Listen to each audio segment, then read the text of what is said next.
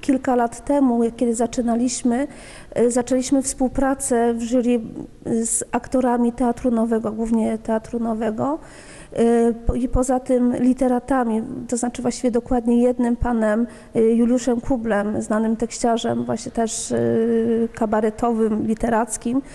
A od czterech lat y, postanowiliśmy zmienić troszeczkę formułę, bo jeżeli to jest y, przegląd kabaretów, to chcieliśmy jakby po prostu pozwolić y, osobom przyjeżdżającym, młodzieży uczestniczącej w tym przeglądzie zetknąć się właściwie z kabareciarzami. Mieliśmy legendarny już myślę, troszeczkę nieraz zapomniany kabaret Ciach, czy wschodzącą gwiazdę kabaret Czesław. Dzisiaj właśnie mamy kaczki z nowej paczki, która, które no, mnie się kojarzy z wczesną młodością, aczkolwiek fajnie odkurzyć, y, myślę, wartościowy, taki, też taki wartościowy kabaret. Mamy dokładny regulamin, który modyfikujemy też, bo rzeczywiście z roku na rok to różnie wygląda.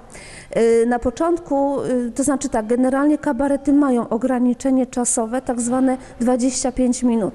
I na początku jakby tak interpretowano ten y, regulamin, że coś, co nie przekracza 25 minut. W tym roku chyba po raz pierwszy jest właśnie tak, że kabarety prezentują w ramach tych 25 minut jakieś pojedyncze skecze. Regulamin zakłada różne formy kabaretowe. Właśnie chodzi o to, żeby zapomnieć od, y, to znaczy od, y, przypomnieć zapomniany już kuplet, czy właśnie y, piosenkę kabaretową. Różnie z tymi formami bywa, zwłaszcza dawniej. Uczestnicy przeglądów kabaretowych starają się rzeczywiście zaskoczyć jakimś nawet nową techniką, y, co, co mieliśmy okazję widzieć w przypadku pierwszego kabareta, kabaretu y, Władek Eł z Poznania, gdzie rzeczywiście za, za, za stosowali prezentację multimedialną.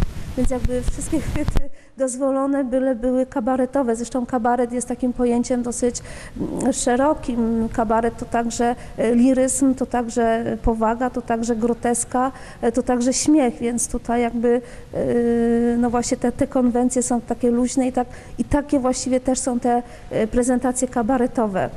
No i takie właśnie to jest bardzo ciekawe, bo oni jakby doceniają, y, chce im się tyle kilometrów tutaj jechać, bo doceniają formę, y, poziom, to, że y, w jury właśnie zasiadają fachowcy, a nie jakby przypadkowe pozbierane osoby. W Centrum Kultury no, dosyć ładne są nagrody. Zawsze staraliśmy się za ten trud, który jednak wkłada młodzież, opiekunowie w to, co prezentują, żeby im się to w jakiś sposób też opłacało.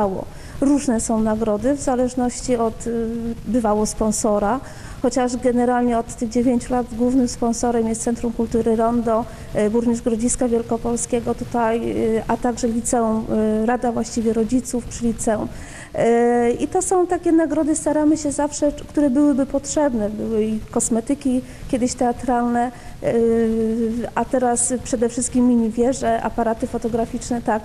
No w tym roku i od właściwie dwóch lat troszeczkę poszliśmy w tą stronę czegoś, co szkoły potrzebują, co grupy kabaretowe potrzebują, mianowicie mikrofon, y, czy właśnie oświetlenie, mikroporty, czyli coś, co się zawsze przyda, y, no, niezależnie od tego, czy się jest z Centrum Kultury, czy z Domu Kultury, czy ze szkoły. Po prostu to są rzeczy, które się przydają. O tym, że warto tę imprezę robić, prze, przekonuje mnie chociażby fakt właśnie, że z roku na rok jakby te, ta impreza ma wyższy poziom. Naprawdę grupy, które przyjeżdżają, y, starają się, a zwłaszcza już któreś były, y, wiedzą mniej więcej, uczą się czegoś i widzę, że taką diametralną nieraz różnicę y, właśnie w kolejnym sketchu, w kolejnym wystąpieniu, więc myślę, że to jest potrzebne.